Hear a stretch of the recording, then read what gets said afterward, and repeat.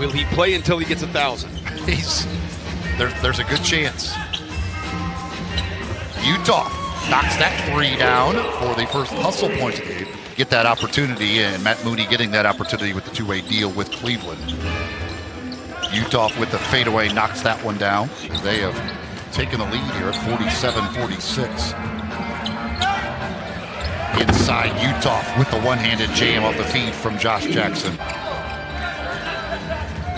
Averages 17 a game. He's hit for 19 and a quarter and a half as Uthoff with the three.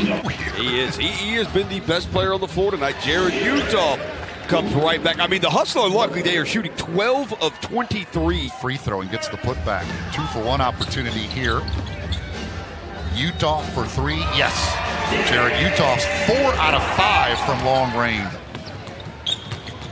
Hannahs on a drive. Uthoff's baseline jumper is good. Jarrod Uthoff is seven out of ten from the field.